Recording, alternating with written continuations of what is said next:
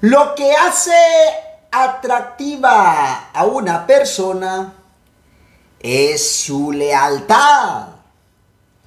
Es mejor ser pobre que deshonesto. Y con esa frase que me decía mi abuelito, que está pero chuladita, asistente. ¿Qué te parece si nos echamos el siguiente piquete? Continuando con la explicación de los chicos de semante de segundo año de bachillerato, como asistente vamos a explicar el literal C que tiene que ver con el numeral 1, el 1.2, operaciones con conjuntos. Y venimos nosotros y lo vamos a explicar de la siguiente manera, esperando que cada uno de los chicos se me vayan acomodando en su casita y sobre todas las cosas se vayan suscribiendo al canal Rugama, el canal de los guanacos, como decía mi abuelito por ahí, ¿verdad, mi asistente? El canal de 100% salvadoreño y sobre todas las cosas son sonateco de corazón. ¿Qué te parece, mi asistente? Nombre, si la introducción está chuladita, como decía mi abuelito, ¿verdad? Ahora, para cada literal, bueno, ahora vamos a explicar el literal C. Determina los conjuntos, bueno, A unido a B, A intersectado a B, A menos B y B menos A. Conocemos los elementos del conjunto A que sería A y B. Mientras que los elementos del conjunto B sería A, B, C y D. Ahora, no hay que perder de vista, mi asistente, de que los conjuntos siempre van con letra mayúscula y sus elementos con letra minúscula. Ahora, A empezar primeramente con este chico. A unido a B. Eso significa que tenemos que unir tanto los elementos del conjunto A como del conjunto B. Ahora, si hay un elemento que se encuentra tanto en el conjunto A como en el conjunto B, solamente lo vamos a poner una B, mi asistente. Entonces, Empezamos primeramente con lo del conjunto A. En este caso, el elemento A también se encuentra en el conjunto B. Lo vamos a poner solamente una vez. Ahora, luego, el elemento B también se encuentra en el conjunto B, ¿verdad, mi asistente? Bueno, aquí lo tenemos. Lo vamos a poner también una vez. Y de esta forma nosotros estaríamos ubicando lo que son los elementos del conjunto A. Hoy vamos a ubicar los elementos del conjunto B y de esa forma estamos uniendo, según lo que me dice acá, hay que unir tanto los elementos del conjunto A como del conjunto B. Entonces me quedaría acá, vamos a colocar el C y el D.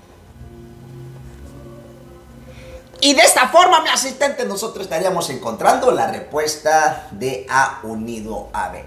Continuando con la explicación, pues hoy vamos con este chico.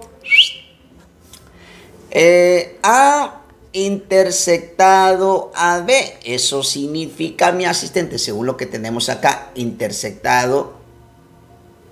O sea, A intersectado a B. Dicho de otra forma, tenemos que ubicar nada más los elementos que le pertenecen tanto al conjunto A como al conjunto B. Dicho de otra forma, estaríamos hablando de los elementos comunes. ¿Y quiénes son? Bueno, este, ya que también se encuentra acá en el conjunto B, pongámoslo, me hace ¿Será este también? Claro, pues por supuesto que sí, ¿verdad? Porque también se encuentra en el conjunto B.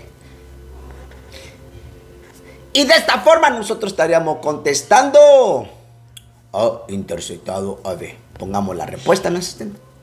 Ahora, en el siguiente, tenemos lo que es A menos B. ¿Y qué significa eso? Eso significa de que vamos a colocar nada más y nada menos solo los elementos que le pertenecen nada más a A pero al B no le pertenecen. Dicho de otra forma, son los elementos que se encuentran solamente en el conjunto A y no en el conjunto B, según lo que me dice esta operación A menos B. Pero te darás cuenta que este chico también está en B. También este está en B. Ah, entonces no hay ningún elemento, asistente. Eso significa que estaríamos poniendo como respuesta el conjunto vacío. Y pudiera ser que un chico lo deja así o lo puede dejar de esta forma. Al final, pues, es la misma mica con diferente cola, como decía mi abuelita por ahí. Y para terminar de explicar ya lo que es el literal C, vamos con B menos A. ¿Y qué significa B menos A? Eso significa que vamos a colocar nada más los elementos que le pertenecen nada más y nada menos a B y no a A. O sea, dicho de otra forma, los elementos que se encuentran solamente en B, pero no están en A. ¿Quiénes son? A sería este, ya que no está en A, y sería este, ya que no está en A. O sea que serían estos dos chicos, ¿verdad, mi asistente? Pongámoslo. Y de esa forma nosotros estaríamos explicando lo que es el literal C del numeral 1. Bueno, pues te gustó el video, dale like y compártelo si todavía no estás suscrito a mi canal de YouTube. Te invito a que te suscribas. Dios te bendiga y buena suerte con tus ejercicios. Chao.